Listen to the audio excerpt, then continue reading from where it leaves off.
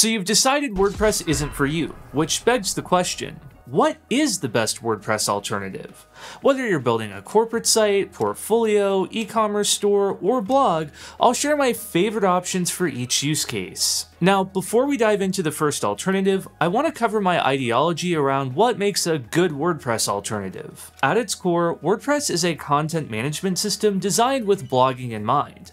It exploded in popularity in the past 15 years and currently powers over 43% of the internet. Due to its market share, WordPress has an expansive ecosystem of third-party plugins to enhance functionality.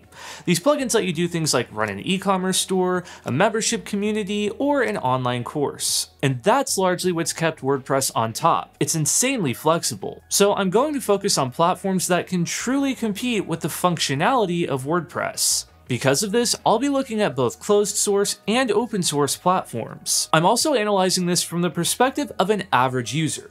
I'm not a developer, so if you're wondering which WordPress alternative is best when it comes to APIs and code architecture, this isn't the video for you. With that being said, one of the most powerful WordPress alternatives is Webflow. Webflow is a no-code website builder with a flexible drag-and-drop page editor. The page editor has all your standard layout tools like sections, containers, and flexboxes.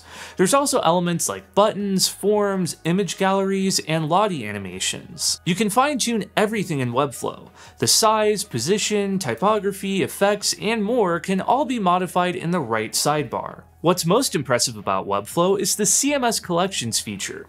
You can use CMS Collections to store blog posts, but you can also create a custom collection for anything. Team members, events, menu items, anything you can think of. It works exactly like the Advanced Custom Fields plugin in WordPress, but it's built into Webflow. Designers will also enjoy the Figma to Webflow app, allowing you to design in Figma and launch your site on Webflow. Webflow also natively supports e-commerce, which is perfect if you need to sell a product or two on your website. There's also an app marketplace with apps to create online courses, build membership sites, and create advanced logic. So if you're looking for a powerful website builder with a drag and drop page editor that resembles Photoshop, I think you'll like Webflow. If you like using Elementor, you'll feel right at home in Webflow. It's also great if you need a highly flexible CMS. If you use advanced custom fields on your WordPress site, you can do all the same things in Webflow. But it does have some downsides. The pricing structure is very confusing.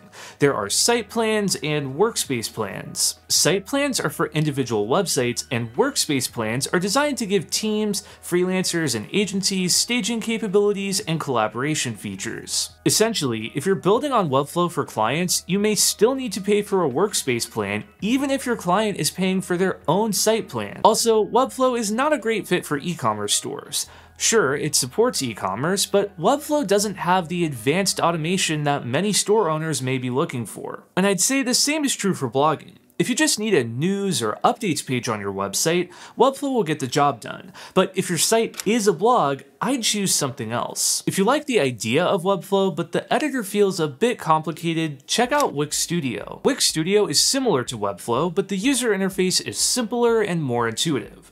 It's got a comparable feature set with a few extra tricks up its sleeve. The native form builder includes conditional logic, something that Webflow is removing from their form builder. There's also a wide variety of section templates available. Webflow has section templates as well, but you have to add them to each site from the marketplace. Wix Studio has an expansive collection of native add-ons for e-commerce, bookings, online communities, and more. Notably, Wix offers a members area app to enable user accounts, which Webflow used to have but discontinued last month.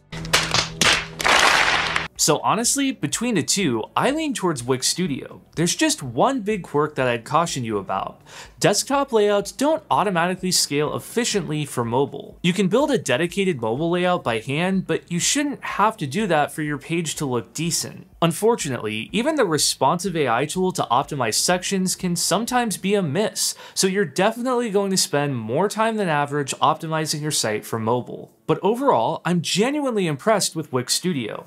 I recently challenged myself to rebuild my WordPress site in Wix Studio, and it went really well. Wix Studio is a great fit if you like the power of Webflow but want a simpler, more approachable editor. It's also great if you want forms with conditional logic or a members area without relying on third-party apps. Just like with Webflow, I think there are better options if you're building an e-commerce store or blog. But I do appreciate all the apps that Wix Studio offers. It was easy to connect to my email marketing platform, and it was cool to see that they're a Wix Choice featured app. Now, I know email marketing can seem kind of boring, but it's incredibly important to stay in touch with your audience. If you're running an e-commerce store, it's critical to increase revenue. So it's worth investing the time to set it up. But which platform should you pick? I've really enjoyed OmniSend, and they were kind enough to sponsor this video. OmniSend is an all-in-one email and SMS marketing platform, and whether you're using Wix, Webflow, WordPress, or Shopify, OmniSend works with all website builders. It's got everything you'd expect, like automations with conditional logic, a drag and drop campaign builder, and easy to digest reports. But where OmniSend really shines is its automation for e-commerce. You can send abandoned cart emails, include dynamic product recommendations, and send promo codes on your customers' birthdays. My business doesn't have a huge emphasis on e-commerce, but I was sold on OmniSend after experiencing their customer support. They have 24-7 human customer support, and it's been incredibly helpful through the entire migration process and getting my automations dialed in. Whether you're running an e-commerce store or a general business, I highly recommend trying OmniSend. It's free for the first 250 contacts, and no features are locked behind a paywall. When you're ready to upgrade, you can get 30% off your first three months with promo code CRAYLOR30. Huge thanks to OmniSend for supporting the channel. It's the perfect tool to complement the next WordPress alternative, which is Shopify. Shopify is amazing if you're building a dedicated e-commerce store. It brings a refreshingly simple take on store management. If you're coming from WooCommerce, managing orders and products is going to be a lot easier. There's a decent page builder similar to the full site editor in WordPress, but Shopify's builder certainly won't win any awards. With that being said, Shopify has everything your store needs to thrive.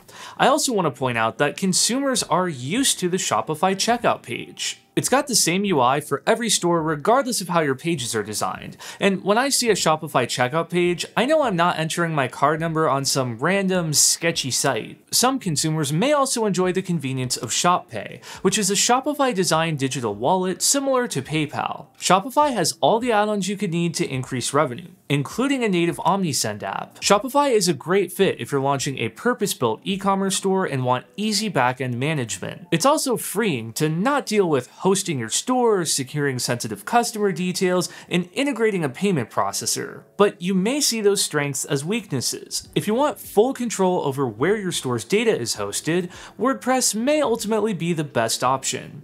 This is especially true if you're selling items in restricted categories. Shopify has a list of product types they don't support on their platform for liability reasons, so if you're selling any of these items, you'll want to go elsewhere. Shopify is also costly. Though I think it's a worthy investment in the long run, the $39 a month starting plan might simply be out of reach if you're on a tight budget. If that's the case, you could start selling using another platform and migrate to Shopify when your revenue supports it, which by the way is what a lot of store owners end up doing. Okay, so Shopify is perfect if you're launching an e-commerce store, but what if you just want a simple blog? For blogging, I highly recommend checking out Ghost. Ghost is an open source CMS with an emphasis on blogging. While WordPress also shares this emphasis, you can heavily customize it with its vast library of plugins. Ghost is different. It's amazing for blogging, but it's not designed to do much else. The page builder is bare bones. You can add text and images, but there aren't comprehensive layout tools like containers or flex boxes. You can at least embed YouTube videos, and speaking of YouTube, if you're enjoying this video, be sure to hit that subscribe button and click the bell so you'll be the first to see my new videos. There's no e-commerce functionality and there's no concept of plugins or extensions that add functionality to your site. There are a few official integrations like Zapier and Slack that add dynamic functionality to your site, but for the most part, the integrations are just HTML embeds of third-party tools. So what is Ghost good for? Well, it's great at blogging. It's simple, it just works. It doesn't have that same intimidating feel that WordPress and other CMSs have. If you're launching a blog or secondary site to give news updates or press releases for your brand, I'd recommend checking out Ghost. It's perfect if you want an open source blogging platform with the option of self-hosting. It's also perfect if you like the idea of an open source platform but want a polished setup experience where you don't have to think about hosting. The official hosting available through ghost.org is competitive with other website builders, and you'll never have to worry about scary acronyms like FTP and SSH. On the flip side, Ghost is not a strong fit if you're building a corporate site, landing page, portfolio, or store.